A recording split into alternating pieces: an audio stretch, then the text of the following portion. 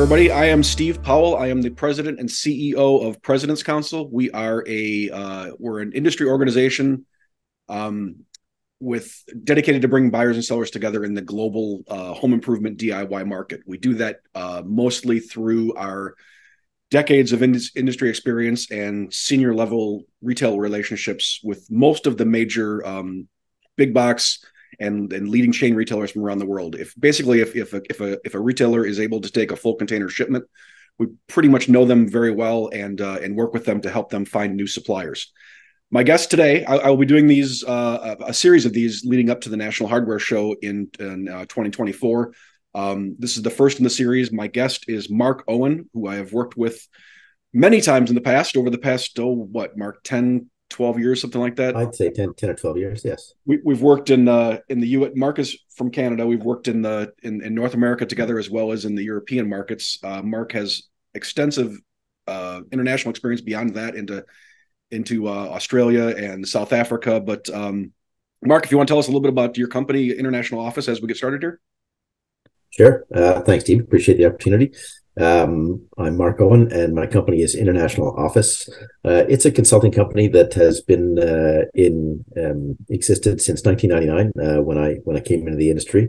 Uh, moved back from Australia. Um, had a business there in a, in a, different industry, but I brought an Australian brand back to North America and, and developed that brand here, and that that led to um, opening this this company and um, and working with U.S. Uh, and U.K. manufacturers uh, to help them locate um, buyers and distribution partners and JVs uh, in countries outside their own expertise. So uh, yeah, got a little bit of experience uh, down the road with international. Worked in Australia, uh, South Africa, Canada, the U.S., uh, Germany, Europe, Middle East. Uh, you know, I placed products with companies in over seventy different countries. So we've done a little bit of travel in that time. Mark is a valuable resource to the industry. Uh, always, always enjoyed working with you. Um, and the first topic we wanted to cover a little bit was uh, kind of what we see as market indicators and where we see the market going forward. And you know, I always think about it in in terms of you know the the market. What tends to drive DIY, at least, and I don't know if you agree or not, but it, what tends to drive DIY from what we've always seen is people moving. Um, whether you're fixing up your place to sell it or you're moving into a new place and customizing it for yourself, doing the, the improvements and stuff you see. So we kind of really watch the uh, the house housing sales, housing starts, those kinds of things, and it was it was booming there for a while. Um, it seems to be slowing down here in the U.S. At least there's there's some state to state movement, uh, but uh, I know the housing starts have slowed a bit. What are you seeing as far as market indicators, and what do you see moving forward the next you know three to five years? I definitely agree with you on, on, on your observations in the US. Uh, Canada would, would we would follow suit uh, very closely. Um, Australia was hit a little bit later, so they they had a little bit of a lag, uh, but they're experiencing that slowdown now as well. Um, the countries uh, like the UK and, and, and Europe obviously hit with the, the war in the Ukraine uh, and some geopolitical yeah. issues uh, as as are South Africa and so on. So um, yeah, the U.S. currencies remain strong, which which has affected uh, international business as well. So uh, I'm definitely seeing some of the things that that you're seeing, and and uh, we we had uh, we had some pretty amazing times in DIY when COVID first hit. Everybody stayed home and and uh, did renovations, and uh, we all thought that was going to last forever. yeah, we had a we had a weird bubble there, you know, and and and at least uh, you know on this, and, and most of the people that are listening to this are looking to start business in North America, so we should probably kind of sure focus on that. And I think I think U.S. and Canada both they were the uh, the DIY stores were kind of uh, they were deemed essential, so they kind of were able to stay open a lot more, and people were cocooning in their homes. And it was a boom for the for the DIY industry. At, at least if you were already in stores and already selling products, it was hard to get in but if you were already in, um, people were just selling out. It was it got crazy there for a while, and I think we're kind of recovering from that and getting there was you know you, you got to kind of settle into a normal. Um, but that's what I'm seeing at least. What about you? It's absolutely the same. But you know, so interesting you say that because there was such a boom, um, and people bought everything that was on the shelf, and and what it did was it was kind of a of a freakonomics um, effect from that, uh, where the, the shelves were empty and um, stores like Home Depot, Lowe's, Menards, etc. in the U.S. had some real difficulty getting stock, and this this kind of exposed a real gap in in what they had been doing or their focus in buying over the previous years, where there, where there was much of a of a, of a focus on reducing um, their supplier base to, to have you know vendors that had multiple SKUs and large lines and, and bring those in. And those those vendors, I won't say they let them down, but they, they just ran out of stock like everybody else. And it really yeah. exposed some cracks in the industry from a logistic point of view. So I see some changes happening because of that. It was impossible to forecast for the for the suppliers. There was there was no telling. And then in, in the middle of that, the container prices went nuts. So yeah, it was thousand dollars for a container, uh, you know, versus five thousand uh, in, in, yeah. in, a couple weeks. So yeah, what, seemed to be through that. I think we're I think we're, we're we've kind of at least most of the way through that. Things have normalized a bit, don't you think? I absolutely do. People are sitting on a little bit more stock, but that's starting to change now. And I, and I think as we get through this summer and the third quarter, I, that's it's really starting to come back into a, a normal cycle, I believe. So, um, what I have seen though is is in the psyche of, of the, the major retailer buyers is that they're they're much more willing now to talk to companies that have uh, lower SKU counts uh, instead of an entire range. So so whereas before, uh, you know, they now we'll just deal with DeWalt because they've got you know you know a thousand SKUs and we don't we don't want these single SKU vendors. Now there's a little bit more interest on their part to to deal with with smaller, more niche companies that can that can back up that that line so that they've got so if something does happen from a logistics or a, or a supply point of view, they've got a little bit of a backup. So definitely seeing some more openness on the point of the buyers to to look at companies that maybe in the past they might not have. It's funny. It's the same. It's the same advice we give to to suppliers when they're looking to come in here. You look at that. We've got some really you know massive retailers in in, in big box with Lowe's and Home Depot, even kind of Menards.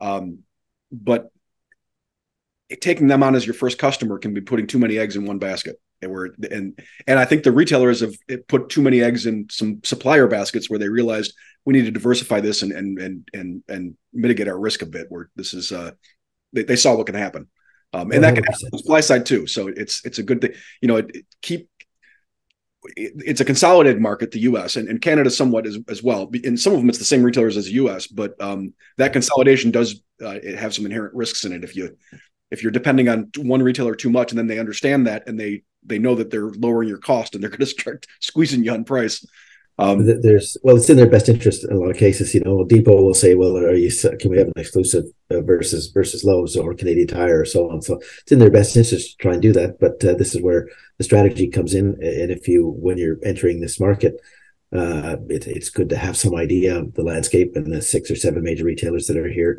yep. Uh, and and the strategy that you need to to, to do to roll that out. And, and if, if there is a particular, you may not want to go to the, the biggest one first. You may want to go to the smaller one, get your feet wet, uh, understand the market, and so on, and not and be able to manage price a little bit better. Um, where if you go to the big one, you're and, and you want an exclusive, they're really dictating price to you and your margin and all the rest. So it can put you in kind of a, a back foot position. And I think that's a good segue into the into the conversation on a little bit of the channel management because it is different here in North America than it is in Europe, in in South America, and other places, because the uh, our industry organically grew out of out of uh, the small hardware stores and the lumber yards um, mm-hmm. of of the olden days, and that the, the lumber yards kind of changed into home centers, which eventually changed into big box, and the hardware stores all kind of worked together to, to form the co-ops. Um, you want to talk a little bit about the, the different channels in, in the industry, and I, and I, I mean, I, I, know I've worked more on the pro side. I can I can explain that a little bit better, but I know you're you've got great experience with the with the uh, on the on the retail side of it. So um, just a little bit on the. Go ahead. For, for hard lines, I mean, generally for hard lines, I see four four sort of independent channels. There's a few other ones, but four major channels, and you've got you've got big box, you've got uh, pro dealers, um, and co-op. You've got uh, specialty dealers, and then you've got online, and and they are really they require different strategies, all of them. Uh, you know, online if you if you decide you're just going to come in and go with Amazon uh, or third party vendors, it can be a real dog's breakfast of, of of what to do, and it can ruin your brand if if you enter the the wrong channel with the wrong strategy. It can really ruin your brand or set you back many years. So uh, my suggestion is to is to look at what you've got, look at where you're successful at home because you want to repeat that, um, and make a decision and and form a strategy that makes sense as to how to launch the brand and and what channels to go in and where your pricing structure should be uh, as well. So that definitely those those channels. It's it's incredibly important to understand those channels and, and how to manage them. Yeah, and and so that it is there is a big division. Uh, it, it's it's more divided than in a lot of markets um, between where the contractors shop and where the consumers shop, and and and it's about half and half. If you're looking at at the at the entire uh, North American market, retail and and the installed sales is is about half the market. And really, to get into the the shops, if uh, with consumer packaged goods, if you're getting into the shops within the hard lines, where um, the the pros are shopping, it's it's typically a, a uh, you know a lumber dealer is going to have the outside area that's all commodity. Um, those those buyers are buying; they don't need to see the product. They're just it, it's just basically almost an auction. Um, and then their indoor hard lines area where all their packaged goods, the tools, and that kind of stuff are sold are typically done through a couple of different distributors. Um, Orgill's a big one. Do It Best is a big one. Um, yeah. I think uh, there's there's some uh, is it Castle up in uh, there, there's there, there's a yes. few in Canada as well. Um, it's uh, and then there are your your job site deliveries like your your Mac tools and and, and those kinds of, of folks. Those but, are the specialty guys, and and and we're I'm seeing some emergence of those here. Certainly there, and you know companies like Ace Tool, some that have really done well online, uh, and so on. So and and they seem to be very competitive with price, uh, you know, and and and try to make the buying process very easy for the contractor. And I think contractors are going to go where there's the path of least resistance because they don't have the time. Uh, so they're they're they're deciding who's got an who's going to give me an account I think, off, so I can buy and leave and so on. So these are depot and specialty and, and distributors for sure.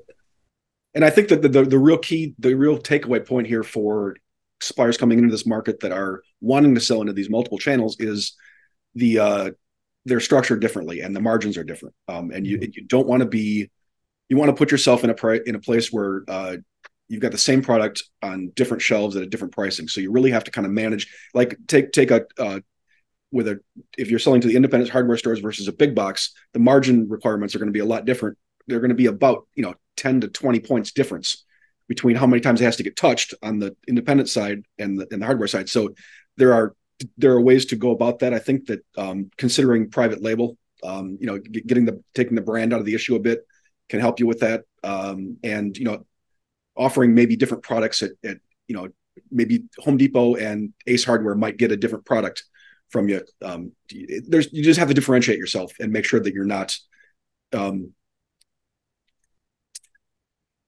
trying to sell another retailer at the expense of a current account kind of thing. You know that that uh, price guarantee that so many of these guys have um, leads manufacturers sometimes to do different executions of similar products. I think that's what you're saying. So so that there's so that you're not comparing SKU for SKU with the price online uh, or or a price in store. So de- definitely um, understanding that strategy for sure and understanding where you want to go. The the the there's I mean there's a couple of ways to price things. You've got cost plus where you take your product and you decide I need X margin. And that that's the price. You're just gonna that's it. Or yeah. there's the MSRP. Uh, manufacturers suggest retail price and the, and the discount structure. And, and, my preference is always if you're going to be in multi channels, is you if you have a hundred dollar MSRP, then each of those channels might have a different discount structure um, that that works for them and doesn't allow the price to be completely um, destroyed in the marketplace by different uh, distribution channels. So understanding that price strategy is pretty important as well. Yeah, uh, and it's just something to be aware of. It, it, it there are, it, it, it's a huge market. There are a lot of opportunities. Um, it is consolidated at the top end, but not so much at the bottom end. And and there's a, you know, it's not just you know sell Lowe's, Home Depot, or Menards or the co-ops, and and those are your opportunities. There are there are what I think 10,000 independent hardware stores here in the US. I, have a customer who I think has 13,000 accounts in, uh, in, in North America. Wow. Yeah, so uh, uh, this is this is the thing. You, you, what you realize is that any one of these channels, if you're successful in, it, it's that that can increase your business uh, in, in a in a massive and meaningful way. So to take a shotgun approach and say I just want to come into this market and and sell to the U.S. I think is the wrong approach. If you if you take that that rifle approach and, and you decide what you want to do and understand the market, then you can really be successful in that in the niche you pick, and then you can start to move to those other channels uh, as you're successful. And and uh, it, the market's enormous. Really and I, I, I think I, I, I think that's a great point. and I and I think that uh, our audience here is coming to the National Hardware Show, and I think that's an you know as we will kind of segue into the buying process here, but I think that uh, exhibiting the National Hardware Show is a great first opportunity to find out where the kind of where your opportunities may lie in this market, where that where you should start. Um, it, it, you may find out, you know, from the people that are visiting your booth that you know that, that this this seems to be really resonating with contractors or the, the independent hardware stores seem to get it, or this is big box.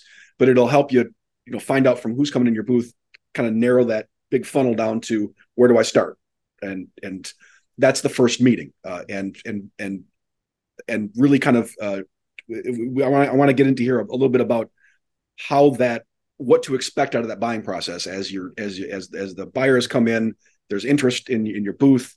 You know the next you want to talk a little bit about the next steps and what uh what the buyer's going to expect from these guys?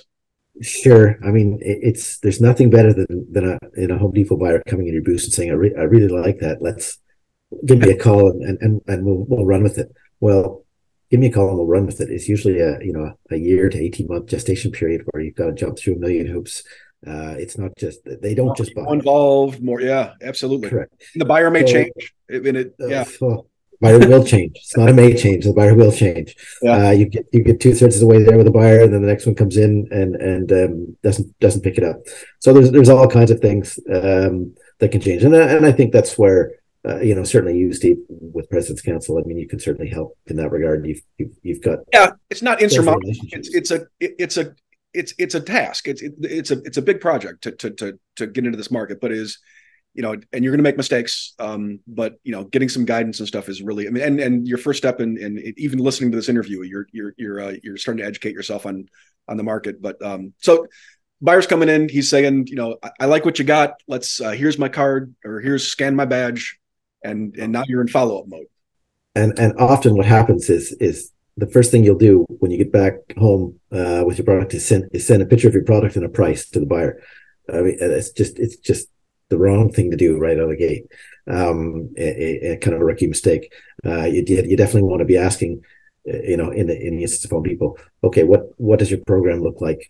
What what are the what are the the the back end points? Uh, you know, is there marketing co-op dollars? Is there is there a new store opening? Is there is there is, there's so many related costs in doing business with these guys um, that understanding their program first and what and where and how they want to sell it in the store is it is it uh, on shelf? Is it uh, promotion? Uh, promotional pulse twice a year? Is it is it just online? Because often oftentimes they'll start with just online to see how the product does. And does that mean that you have to become the new test market? I mean, it, it's right. There are some products I think that really that really kind of lend themselves to like special order type of things that are yep. that are naturally online. But they a lot of retailers here are using the online as a test market. And if you hit numbers that they'll have benchmarks to hit, and if you hit those numbers, then you're on shelf. But it's a it's a chance to prove yourself and, and even in between that, they'll they'll you know if you do well online, they'll they'll say, well, can we do a quarter pallet uh, seasonal pulse uh, or or a pulse that makes sense wherever your product fits in? It could be that that aisle violator or you know a quarter pallet stand that's in the aisle. You see them in the stores often.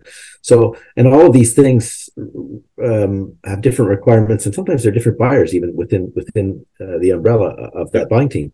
So uh, I, I think it's important that when you when you first submit it's more about asking questions to understand what uh, what their program looks like and how you can fit into that program. And I think if you if you pitch it's not the right word, but if you explain it in that regard, say, look, we want to do the best job we can for you. Uh, we so we want to understand your program well so that we can we can dovetail with that and and make sure that uh, um, uh, we're both successful because they will not keep your product if it if it doesn't if it's not successful and if it doesn't achieve the growth numbers that they have uh, required within their program.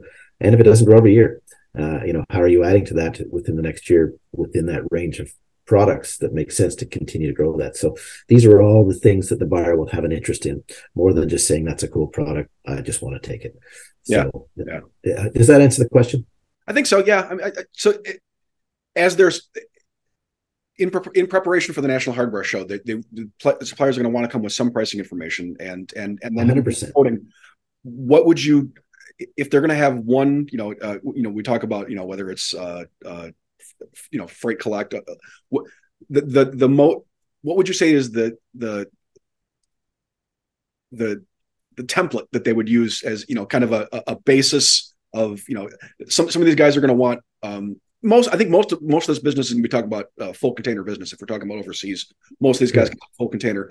What would you suggest the suppliers have prepared as far as a, a, quote to be able to give to, and then and then also, what do they need to be holding back for for for uh, right. you know rebates and those kinds of things that are inevitably those shoes are going to drop. I, I, think it would be important for you for them to have a, a, a suggested retail price. I mean, that's where you want to start. Where where where will the product sell in the marketplace? Uh, what's the sweet spot? What's that range of retail price? And even to say to a buyer, look, the retail range will be between eighty nine and ninety nine dollars, or or uh, something like that. Before we get further in this, there, there is one point that I always tell with uh, international suppliers is that our sales tax or VAT is not included in the shelf price. That's an important point. a lot of places they are. So when you're looking at the shelf prices, you kind of have to know that um, that to back out that you know that the VAT is not included there. It's, and it's and it's uh, you know typically here in the U.S. it's somewhere you know eight to twelve ish. Canada's what? Uh, is we're 13 here, but uh, but I, you know, so I think I think even seven seven to 12 or something like that in the state spending. I think depending on where you, I mean, it's, it's different state to state, county to county here. Um, Correct. So Correct. it's it, it is it, there's that is one of the big differences in especially it, I encourage everyone to get into stores. Um, if you're interested in a retailer, go go and yes. you'll be able to know what they're doing. You'll, you'll see kind of what their their well their their assortment, their their strategy, and all that kind of stuff. Um, but as you're looking at the prices, you may be salivating, thinking, "Oh, we can sell," but um, yeah, it's it's it's uh there there is every, retail, every retail price including Amazon prices. Everything you see online does not have tax in, yep. in the it's additional, and consumers here are used to paying it. Uh, so when they're pulsing a 99.99 price, that's probably ends up being 107 or 108 by the time it goes through the register. Right. So yeah, you're, you're absolutely right. A little hidden cost for. for sorry, I, I, just want to throw that in there. As as totally fine. So um, I would suggest that that uh, you come prepared with a some kind of a retail range that's going to make some sense, and don't don't be afraid to ask if you've got a good product that's a proprietary product and it, and and it's and it's good and you got and you're sourcing well and, and you're good at what you do. Don't be afraid to ask, you know, the the, the proper buying uh, price for your product. So having having that price would be good. Um, understanding that this is very general terms here. So so from that retail price, Depot Depot and Lowe's, the big boxes, uh, and some of the others are you're probably going to need to build in you know 40 points on that at, at a minimum um, because they're going to want 25 or 30 at the store level and there's going to be 10 or 15 in back end points so yeah. so and it's different product to product i mean it, it's uh, correct. especially within a hardware store you're looking at anywhere from commodity to special order the the I mean, you're, you're you're talking kind of the sweet spot of where the and I think that's good information. Very general. It is. But I mean, again, if you're if you're coming to, to the to the hardware show uh, with your booth and you're selling screws and fasteners that are that are fairly much a commodity, you realize that the margins are going to be much lower on that versus a, a highly proprietary product that has patent pendings or patents and so on. You're, you're going to ask a little bit more for that. So, uh, I say very general terms, um, but look, they're in it to make money. So, uh, and and they push very hard. Some of these guys. So um, I'd say you have, need to have your retail price set and and um, yeah, you need to leave. There, there, there are you know loyalty programs. Uh, there's billing fees, defective. Uh. If if you're one of the one of the key things really is um, for if you've already been dealing with the big box retailer, you kind of know this stuff, and I think that's really good information when you're meeting with a buyer. It, it may not be if you've got experience selling, say, Bunnings that's not yeah. U.S. experience, but it's big box experience, and it, and it's it's relevant in that way. I mean, if you if you've been selling to U.S. hardware stores and you're looking to get into big box, there's some relevance there, but there's also relevance just dealing with big box. Absolutely, or, it, look, or any channel. Yeah, the modus operandi of any of these of any of these a couple of these top channels are the big the big ones going to be very similar all over the world. I mean, if you're if you're from Europe uh, and the UK and you're dealing with with B and Q, Screwfix, uh, uh, Castorama, any of these big guys, you know the program. It'll be very similar in a lot of ways. So might they paint it maybe with a little bit different uh, you know, might be called something different, but it's ultimately the same margin pool that they want to they want to bring the money back into. So definitely, um, uh, that experience within your home country will, will play out here to some degree. So they've had their meeting. They they met them at the hardware show. They're following up. They're sending price quotations. They are communicating back and forth with the buyer on you know we need this, we need this quantity, we need, you know what, and uh and now they get their their as they're you know most of the big retailers, whether it's whether it's the co-ops, the the, the distributors, or they're they're going to put you into a line review process. They've got these scheduled out for for a year, um, and you're now you're invited to the line review. Uh, what Correct. would you suggest they be preparing in in in uh, in in in anticipation of this? So I think what's really important to understand um, is is obviously what they're asking for. If, if the line review is uh, for screwdrivers, let's say for example, um, I think it would be very important that you understand uh, what that what that set looks like within the within the store. Mm-hmm. Uh, you want to understand the landscape within the store and the geography uh, and the square footage, uh, what's there, because if if you want to speak the buyer's language, he's got to make that square footage sing in terms of margin for him. So uh, it, it, would be important for you to understand what that looks like, uh, how your product can fit in. Uh, to uh, you know, I've I've helped people even take by taking pictures of the of the set in the store and then superimposing their product in where where the where they might where we want to be over the product where that they that they're looking to, to fill or the gap that they're looking to fill. So these are things it's it's important to understand what what the buyer's goal is. So I think uh, more than just pitching, you know, present saying, "Wow, there's an opportunity. I'm going to pitch my product." I think it's really important to understand where it's going, what it's going to do, what it's going to produce from a from a dollar or a margin point of view, from a square footage. So having some of that information and, and understanding the volume uh, and those um, those forecast expectations, I think, is is something that you would want to be pretty clear on with the buyer as well, because that's going to play a huge part over just price uh, as to what's going to make a successful product for them. Because yeah, I mean, the, the buyers are typically evaluated on some sort of a GMROI calculation uh, for their whether it's their bonuses or what, and and it's not just the margin. Uh, it's you know it's margin, it's turns. There are several ways you can affect that and make your buyer look like a hero. Um, whether it's you know if you're if you're able to really provide just in time inventory and those kinds of things, there are uh, you know it's and and and really putting it you, you, want you want to minimize the risk for the buyer and there are you know really kind of finding ways to not just dump the product on the buyer and say hey sell this help them sell it is uh is make the buyer a hero they, it, it's very it's a very common mistake to think that once you get your product into home depot they're going to sell it uh, that is that is true to some degree but but you he'll be asking you, what are you doing to sell the product for us? So, so if you don't have a market, if you don't have marketing, uh, you know, some, some kind of, um, SEO going and, and some kind of, um, promotional, um, preparedness plan or marketing plan that's going to support that product within their stores that's a that's a you know the buyer will see that as a negative so you, have got to come with a full package not just the price and the product you've got to understand what what the what the forecast and the turns are going to be. You've got to understand how we're going to try and pull that product through the stores as well.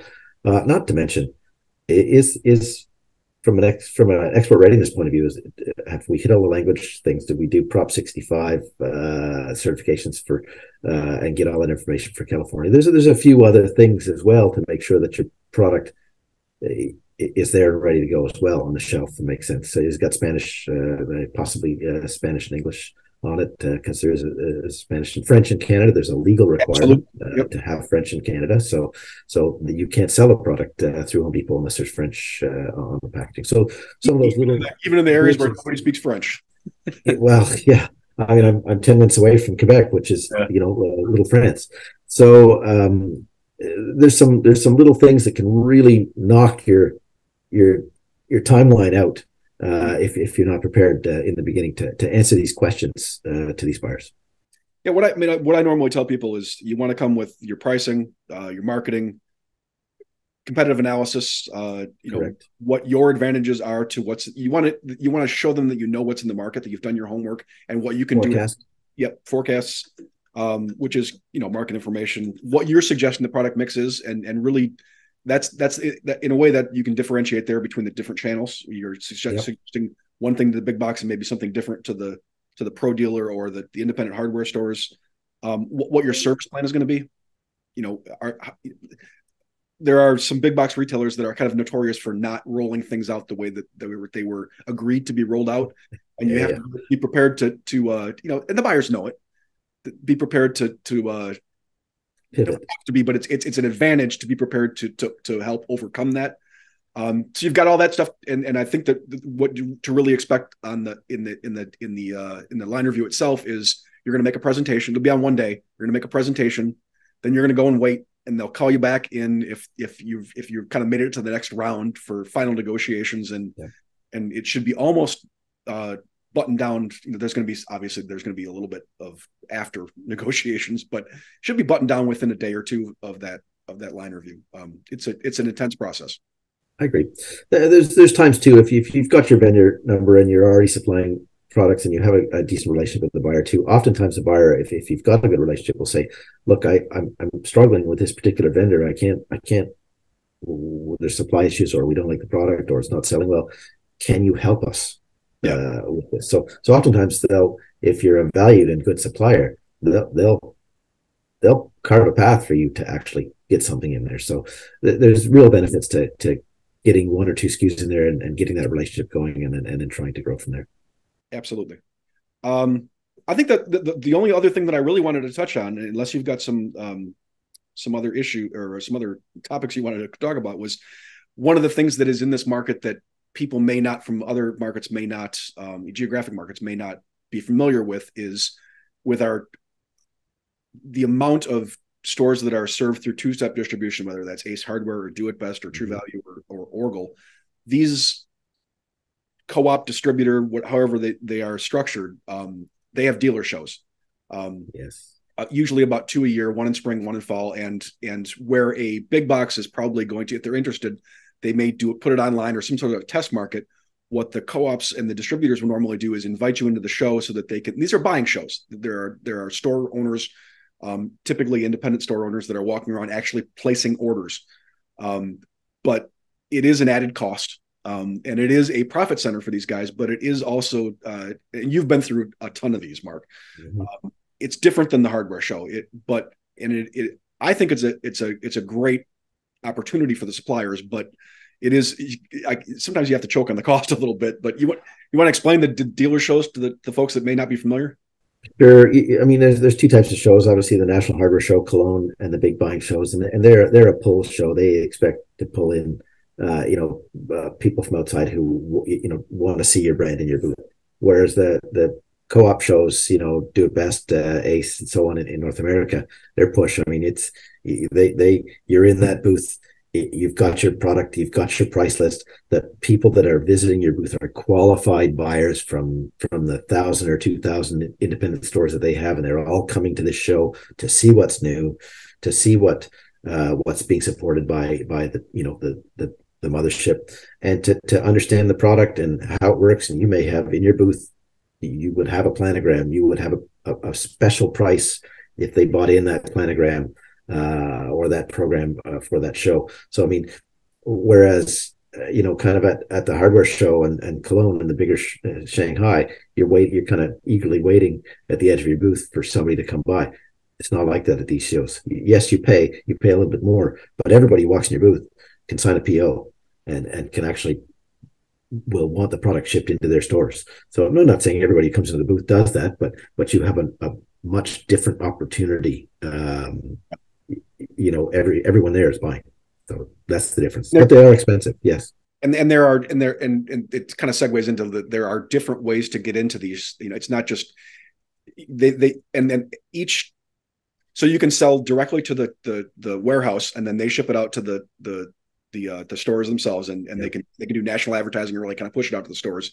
They can they can decide well well we like it but we don't really want it's not enough for all of our stores so we're going to do we need to do a direct ship program and that way you're you're maybe doing the billing through the central and then shipping directly to the stores. There's right. a there's less hands on it so there's a little less margin that way but you're having to to, to take on some extra work and cost in in the logistics. So um, or you know th- there are a few different ways that product can get from a supplier into a into a uh, into an independent hardware store and each step has a little bit different costing to it.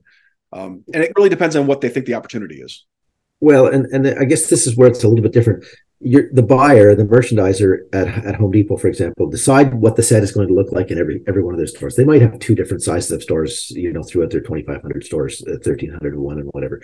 Whereas the, the co-ops eh, eh, these this is these some of them are mom and pop hardware shops that are that are eh, you know a thousand square meters and some of them are are are are big big box size stores that that, that are that are huge you know 10 15 20 30,000 square meters. So um so they every buyer is a little bit different. Some might only be able to take a, a small portion of, of, of, your range where the other might say send me the whole send me the whole range. I want to i want to put that out there. So it's definitely um not as streamlined in in terms of you know one one fits all one one planogram fits all. Uh, so you've got to be prepared a little bit with your with your offering to to to, to be flexible and to, to work yeah, with the, these the, the store owner has a lot more autonomy than a store manager correct yeah it's, yes That's their business so yeah um yeah. I, I I don't really have any. I mean, I think we've covered quite a bit. Um, if uh, Mark is, by the way, um, I will be at the National Hardware Show. We're, Mark and I are both going to be there to answer all your questions. If you want to come in and say hi to us, and uh, you know, we're we're uh, we're both here to to help if we can. Um, if you've got any questions in the meantime, my email is spowell at presidentscouncil.com. Um, uh, you can email me and I can get you to Mark. Mark's email is mark at uh, Mark. What's it's a international dash Mark with a K, Mark with a K M A R K at international uh, dasher hyphen office.com. So Mark at international dash office.com. If you got any questions, uh, otherwise, um, our next, uh, my, my next interview is going to be with, uh, with Jim Inglis, who is the former um, executive VP of Home Depot during their early growth years. Um, he literally wrote the book on DIY retailing. So, uh, you know, Mark and I can talk from the sales side, and then we're going to get a little buy side uh, buy side information um, coming up on the next one. So I appreciate everyone eh, for uh, for listening and uh, listening to me and Mark's just here and talk. Um, uh, Mark, anything to add before we finish up? Well, good good luck with with uh, with Jim Inglis. That's a that's a coup to get that interview. That's a, that's a real big one. So you know, he's a, he was the he's the former um, chairman of our advisory board for President's Council. So he's someone that I've known for for many many years, and I mean he's an absolute treasure trove of wealth of DIY mm-hmm. retailing. Yep. Both South America, Europe, uh, and obviously North America. So um, that's going to be fun too, and uh, we look forward to seeing y'all in uh, in Las Vegas next year. Great, thank you, Steve. I appreciate it. Yeah, thanks, Mark.